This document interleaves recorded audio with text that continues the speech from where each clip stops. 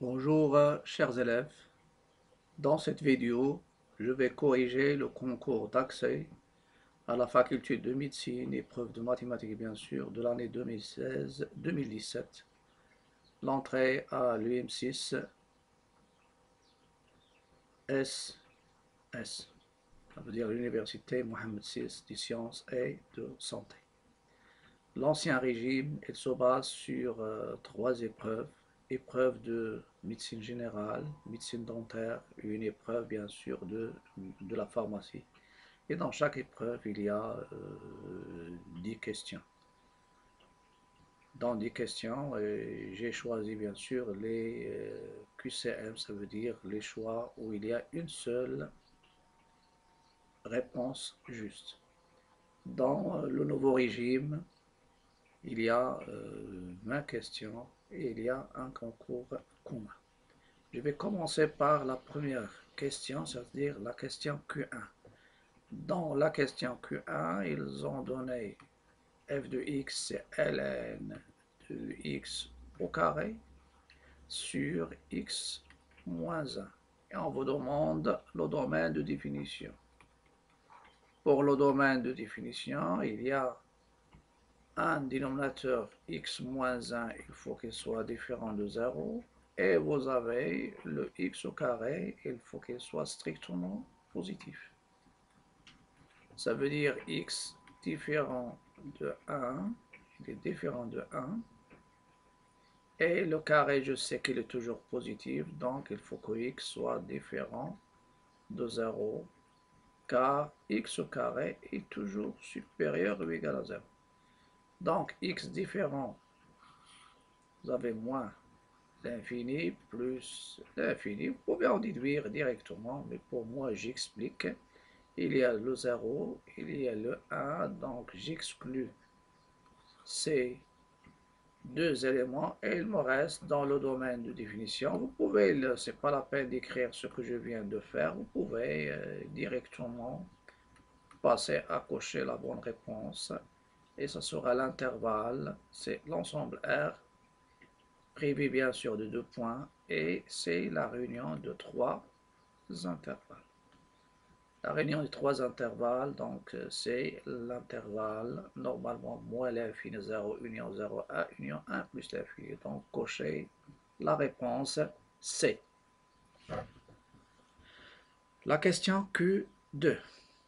Question Q2, vous avez la limite lorsque x tend vers 0 de 2 cosinus au carré x plus cosinus x moins 3 sur cosinus x moins 1. Pour remplacer, ça vous donne 2 cos carré de 0 plus cosinus 0 moins 3 sur cosinus 0 moins 1.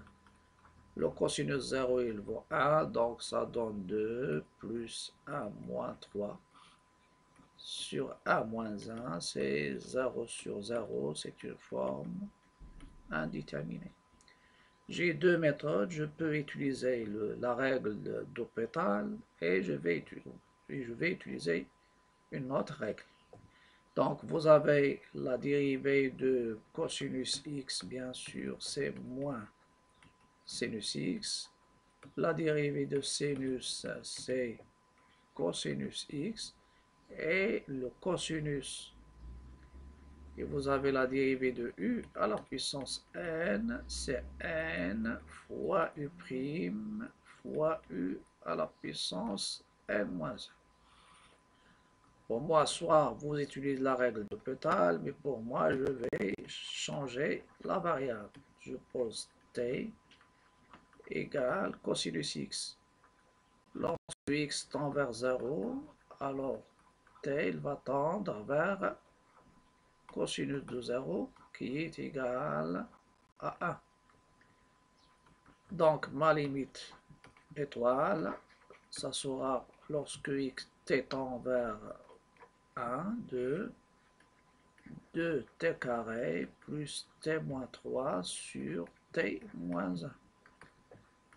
Et c'est une limite dans laquelle je vais, je peux factoriser? Donc vous avez déjà de t de, de 2t carré plus t moins 3. Donc, normalement, vous avez deux manières. Donc, je peux utiliser la division euclidienne pour factoriser ou bien le discriminant. Je divise par t moins 1 car lorsque j'ai déjà remplacé le numérateur, il y a 2t carré, 2t carré plus t moins 1. Lorsque t égale à 1, ça donne 2. 3 plus 3 égale à 0. Donc c'est 2t 2t.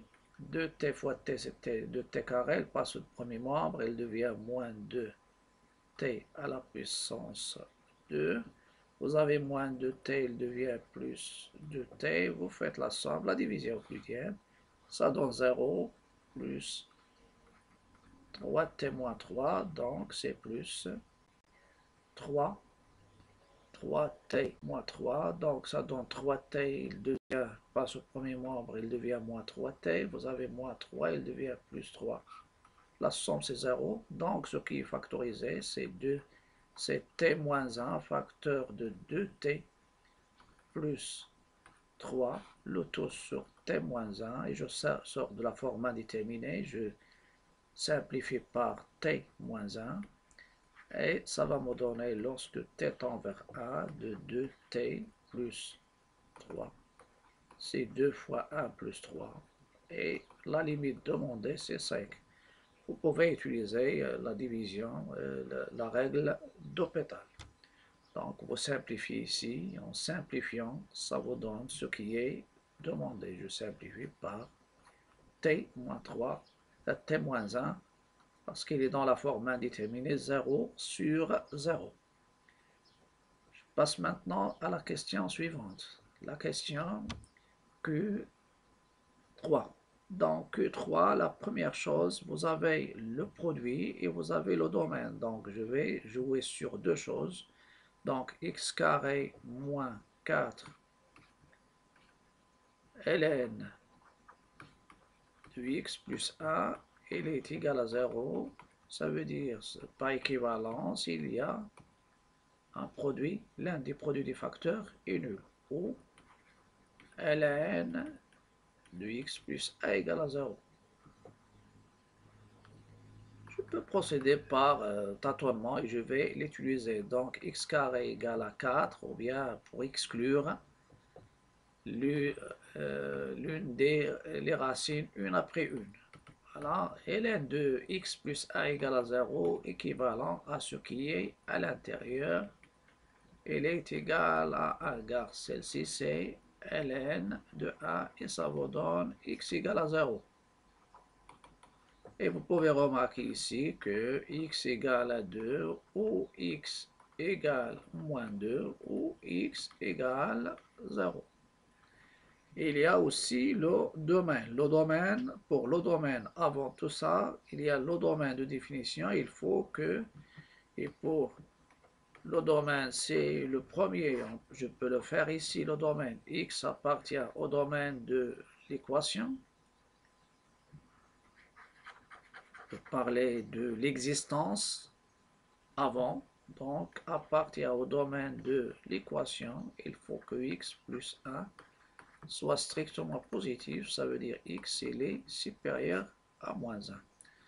Donc, celle-ci, normalement, il est inférieur moins 1. Euh, il est inférieur à moins 1, donc je l'exclus.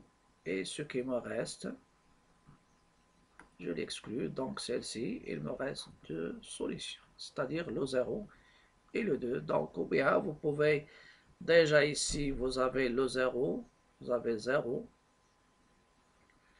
Il y a moins 2. Si vous faites x égale à moins 2, x plus a, ça donne ln de moins a. Donc, euh, normalement, ça convient pas. Donc, le moins 2 ici, le moins 2 ici, le moins 2 ici et le moins 2 ici. Donc, déjà, je peux procéder par élimination. Donc, x égale à moins 2, je remplace par moins 2. Ça me donne à l'intérieur, vous avez moins 2 plus 1, c'est moins 1. ln de moins 1 n'existe pas. Donc, les solutions, il y a moins 2, on les élimine.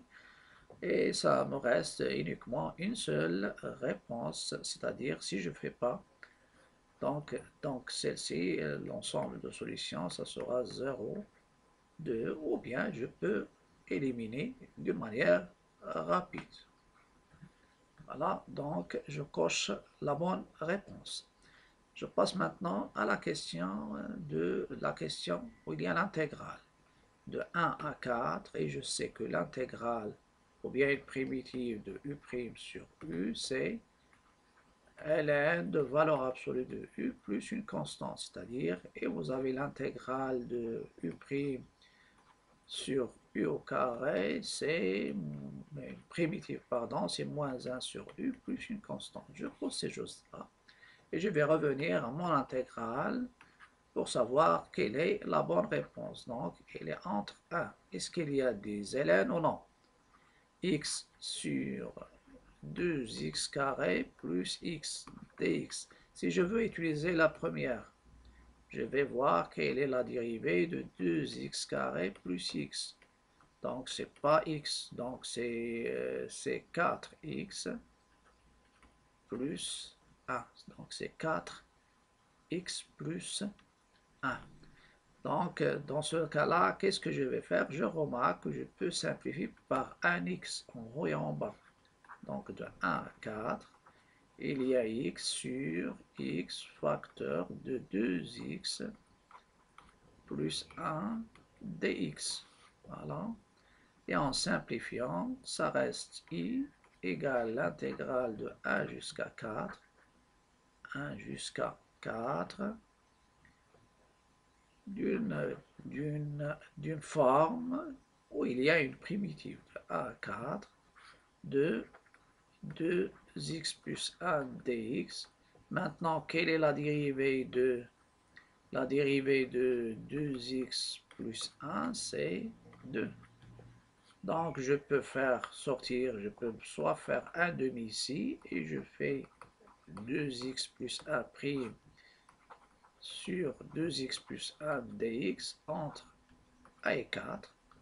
Et ça va me donner i, c'est 1 demi, mais entre parenthèses, il y a ln de la valeur absolue de 2x plus 1 entre a et 4. Et je fais 1 demi et je calcule. Pour 4, ça donne 2 fois 4, 6, 8, donc c'est ln de 9. Pour 1, c'est ln de 3. Donc c'est ln de 3 et c'est 1 demi. ln de A moins ln de B, c'est ln de A sur B. Donc c'est 1 demi. ln de 3. Et la bonne réponse est B.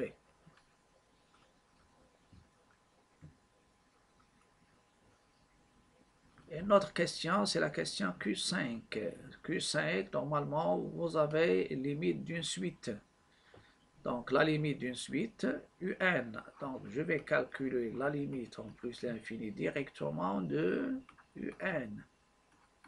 C'est la limite en plus l'infini de 3 fois 4 à la puissance n plus 3 sur 2 à la puissance 2n plus 2. Je sais que 4 dépasse 1, donc 4 à la puissance n, sa limite c'est plus l'infini. C'est plus l'infini. Et vous avez aussi 2 à la puissance 2n. 2 à la puissance 2n, c'est 2 au carré, le tout à la puissance n, c'est aussi 4 à la puissance n. 2 à la puissance 2n. Voilà. Donc, ça donne bien sûr l'infini sur plus l'infini sur plus l'infini. C'est une forme indéterminée. Donc, euh, la limite, c'est une forme indéterminée, l'infini sur l'infini. Mais vous avez ici 4 à la puissance n, donc euh, qui donne l'infini. Je vais factoriser par 4 à la puissance n au numérateur. Et il y a aussi 2 à la puissance de n, c'est 2 au carré de 3 à la puissance n, c'est 4 à la puissance n. Donc je vais factoriser par 4 à la puissance n, numérateur et dénominateur. Ça me donne la limite en plus l'infini de 4 à la puissance n facteur de 3 plus 3 sur 4 à la puissance n sur 4 à la puissance n, facteur de 1, plus 2 sur 4 à la puissance n. Après, je simplifie par 4 à la puissance n. Il nous reste la limite en plus l'infini de 3 plus 3 sur 4 à la puissance 1 sur 1 plus 2 sur 4 à la puissance n.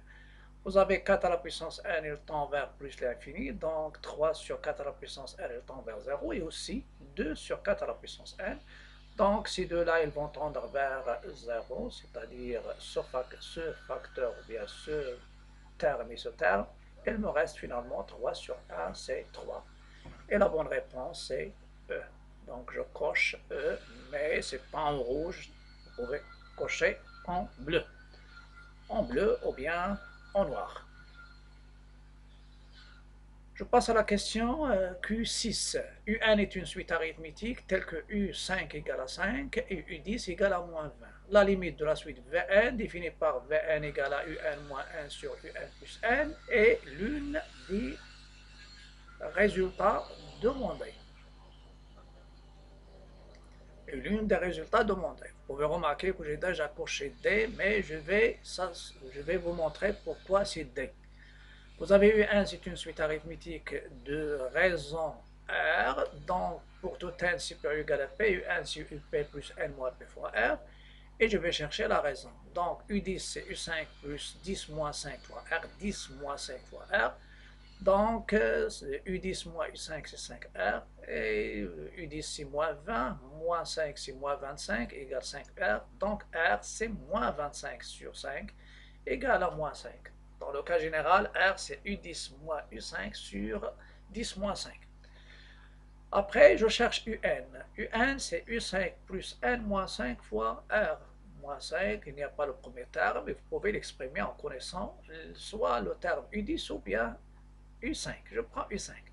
Donc UN, c'est 5 plus N moins 5 fois moins 5 qui est la raison que je viens de trouver. Et en factorisant ici, en développant, ça donne 5, moins 5, 5, moins 5N, moins 5 fois moins 5, c'est plus 25. Et ça me donne UN, c'est moins 5N plus 30. Et je reviens à la suite Vn. La limite de Vn en plus l'infini, c'est la limite de je remplace, donc c'est moins 5n plus 30 moins n, en plus l'infini bien sûr, lorsque n tend vers plus l'infini, sur moins 5n plus 30 plus n, et c'est la limite en plus l'infini de moins 6n plus 30 sur moins 4n plus 30. Vous avez le droit soit de factoriser par n en haut et en ou bien utiliser le fait comme si vous, êtes, comme si vous avez un rapport de deux, fonction, de deux fonctions polynômes, la limite est l'infini, c'est la limite du quotient du monombre de plus haut degré. Donc, si moins 6n sur moins 4n, vous simplifiez, ça reste moins 6 sur moins 4, et c'est 6 sur 4, donc c'est 3 sur 2. Donc, la bonne réponse que vous voyez ici, c'est D. Je passe maintenant à la question suivante, c'est une question en géométrie question en géométrie, géométrie dans l'espace.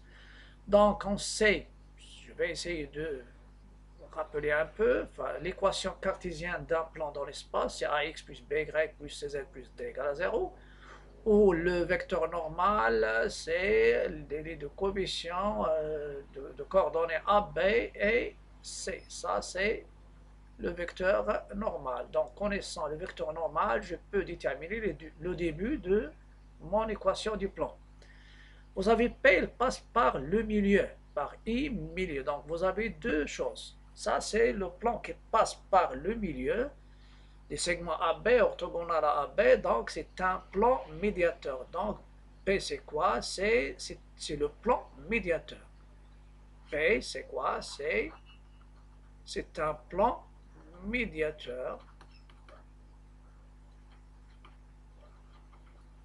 c'est le plan médiateur, bien sûr, euh, du segment AB. On a déjà parlé dans des vidéos des plans médiateurs et, et ce n'est pas la première épreuve où il y a ce plan médiateur. Même, je pense, euh, médecine générale, dans le concours romain, ils ont donné ce plan médiateur.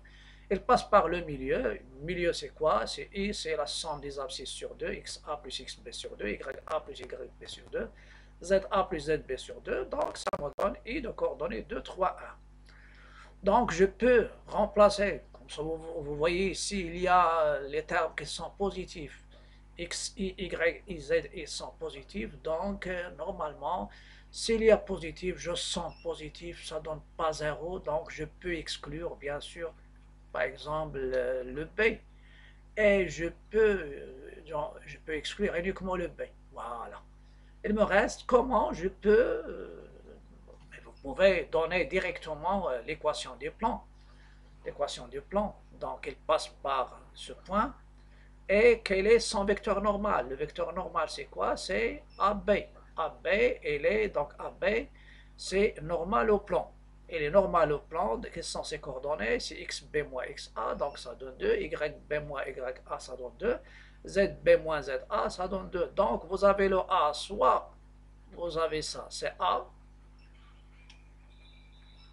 b, c, ou bien, ou Bien, en faisant une simplification, je trouve A c'est A, et ça c'est B, et l'autre c'est C. Donc, je vais essayer de voir, il n'y a pas de, soit je multiplie les équations du plan par 2, ou bien je peux simplifier. Donc, euh, AB, c'est le collinaire au vecteur n de coordonnées 1, 1, moins 2. Donc, 1, 1, moins 2, c'est dans le A, il y a 1, 1, moins 2. C'est bien. Donc ici, 1, 1, moins 2 dans le C, mais ici, 1, 1, 2, donc je l'exclus. Donc le D non. Et ici, non plus. Qu'est-ce qu'il nous reste? Il nous reste entre ces deux plans entre le A et le B, entre le choix du plan A et le choix du plan B. Je reviens au point A. Et au point A, je vais voir est-ce qu'il appartient au premier ou bien au deuxième. Si je prends le premier, ça va me donner ici 1 plus 2, c'est 3. 3 moins 6 plus 6. Donc, ça donne 3. Euh, donc, j'exclus même le A. Et vous pouvez remarquer que donc j'ai déjà exclu le E. Il nous reste le C. Et vous pouvez vérifier pour le C, c'est 1 plus 2. 1 plus 2, c'est quoi? C'est donc I. J'ai dit ici I, est-ce qu'il appartient? Il appartient à moins 3. Donc, 1 vous avez 2 plus 3, 2 plus 3, moins 2, moins 2, moins 2, moins 2, voilà, moins 2. Pourquoi? Pour que le z, c'est moins 2. Le z, c'est moins 2.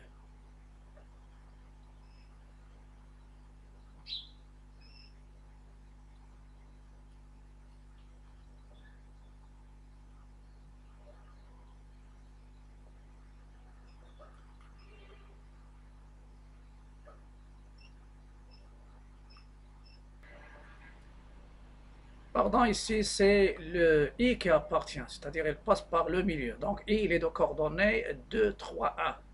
Si je vérifie dans le, le plan, c'est-à-dire dans le C, vous avez 2 plus 3, moins 2 fois 1, c'est moins 2, et moins 3, ça donne 3 moins 3, c'est 0, 2 plus 2, donc le i, il appartient au plan d'équation x plus y, moins 2z, moins 3 égale à 0, et la bonne réponse, c'est C. Je passe maintenant à la question 8. Dans la question 8, dans C, les solutions de l'équation z plus 6 le taux au carré plus 25 égale à 0. Donc ici, vous avez deux chemins à suivre. Soit on fait le raisonnement direct, ou bien on peut faire bien sûr l'élimination. Vous avez ici le, le, le, 6, il faut que 6, si vous avez 6 plus 6, z plus 6 égale 5i, le 5i au carré, il donne moins 25. Moins 25 plus 25, c'est 0. Si je prends ici z plus 6, ça donne pas, euh, il n'y a pas l'élimination de 6.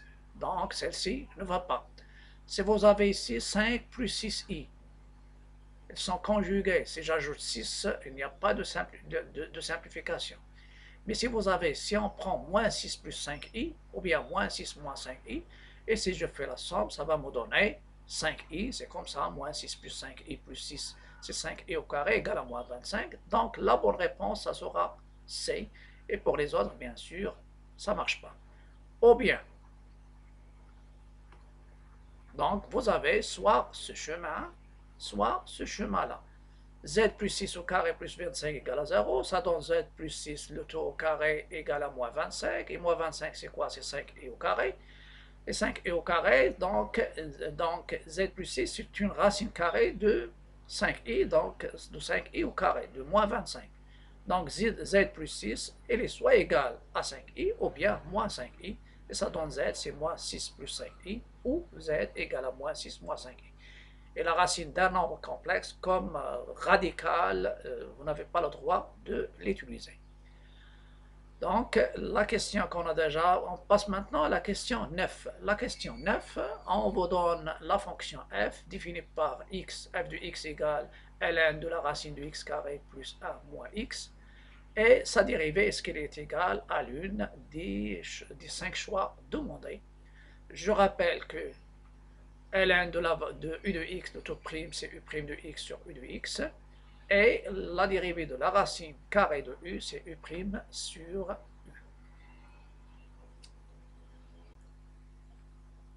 Je passe maintenant à la question 9. Dans la question 9, on vous donne une fonction f de x, c'est ln de la racine de x carré plus 1 moins x, et on vous demande quelle est sa dérivée. Donc, au lieu de tâtonner sur ces choses-là, je peux passer au calcul direct, parce qu'une règle à appliquer, c'est u', ln de u, sa dérivée, c'est u' sur u, et la racine de u, sa dérivée, c'est u' sur 2 racines de u. Donc, je dérive ma fonction f c'est la dérivée de la racine de x carré plus 1 moins x sur la racine de x carré plus 1 moins x. Je dérive à part, au lieu de rester sur la même fraction, je dérive le, numérateur, la racine de x carré plus 1 moins x. Quelle est sa dérivée? C'est la dérivée de la racine de x carré plus 1, qui est la dérivée de x carré plus 1, qui est 2x, sur 2, la racine de ce qui est à l'intérieur. Moi, la dérivée de x qui est moins 1. Après, je simplifie normalement ici les deux. Ça reste x sur la racine de x carré plus 1. Et je réduis au même dénominateur. C'est x moins 1 fois la racine. Donc, c'est x moins la racine de x carré plus 1 sur x, la racine de x carré plus 1. Et je reviens à ma fonction dérivée. f' de x j'ai déjà c'est donc ici vous avez le dénominateur, c'est la racine de x carré plus x plus 1 moins x. C'est pourquoi je vais, euh, ce, ce numérateur, je le je prends l'opposé, c'est-à-dire je factorise par moins, c'est moins la racine de x carré plus 1 moins x sur la racine de x carré plus 1 fois 1 sur la racine de x carré plus 1 moins x vous pouvez remarquer, si je factorise pas pour moi, ça reste deux facteurs qui sont opposés. Si vous simplifiez, ça reste moins 1 sur la racine. Et la bonne réponse, bien sûr, c'est D.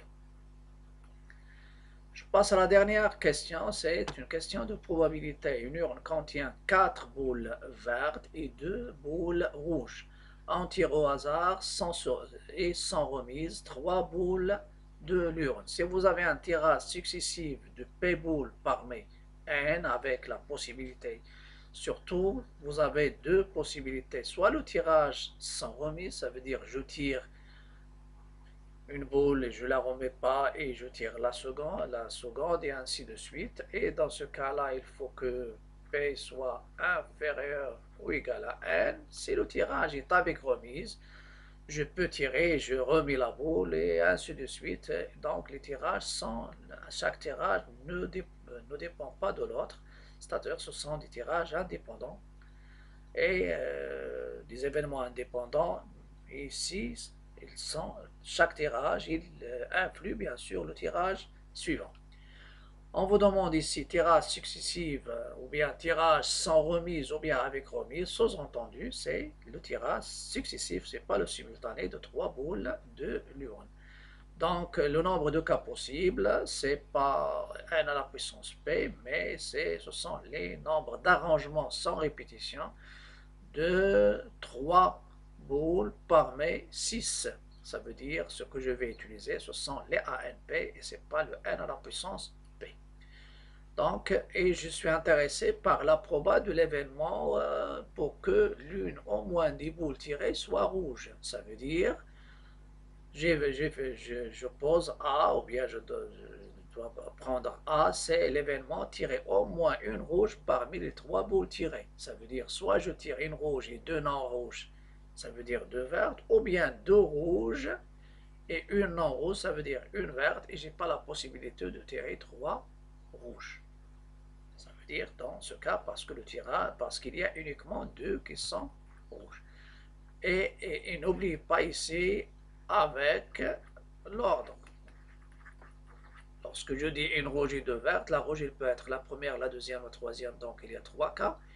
La même chose, une verte, il peut être la dernière, l'avant-dernière, ou bien la première, donc il y a trois cas. C'est pourquoi je vais procéder par l'événement contraire à barre, tirer zéro boule verte, zéro boule rouge. Ça veut dire tirer aucune rouge. Et dans ce cas-là, je vais tirer trois qui sont vertes. Donc la probabilité de A bar, c'est la probabilité de tirer trois vertes. Successivement, ils sont remises. La première, ça sera parmi 4, la deuxième parmi 3 et la dernière parmi 2. Donc le nombre de cas possibles, c'est 4 fois 3 fois 2 sur le nombre de cas possibles en général, c'est-à-dire ça c'est le nombre de cas favorables, c'est A3 parmi 4, c'est 4 fois 3 fois 2. Sur le nombre de cas possibles, c'est le nombre d'arrangements sans répétition, 2, 3 éléments parmi 6, c'est A3, 6. 6, 6 fois 5 fois 4, je la laisse comme ça pour pouvoir simplifier. Donc il y a 4, parce que vous n'avez pas la calculatrice, donc vous pouvez écrire comme ça. Et vous avez 6, c'est 3 fois 2, donc il nous reste 1 sur 5 et la probabilité de A dans ce cas-là, c'est 1 moins la probabilité de A bar, donc 1 moins 1 sur 5, et ça sera 4 sur 5. C'est 4 sur 5, donc la bonne réponse c'est 4 sur 5. Donc la proba de A, proba de A bar, c'est 1 moins la proba de A. Donc le 1 sur 5, c'est la probabilité d'avoir aucune rouge. Aucune rouge. Mais s'il y a au moins, s'il y a aucune, ça sera 1, 5. Et je coche B. Mais il faut faire attention. La probabilité de A, c'est 1 moins la probabilité de A bar. C'est 1 moins 1 sur 5. C'est 5 sur 5 moins 1 sur 5. C'est 4 sur 5. Et à la prochaine vidéo sur euh, un concours, bien sûr, du LM6 de 2016. Ça sera ici. J'ai corrigé une épreuve et il nous reste une autre, je vais la corriger.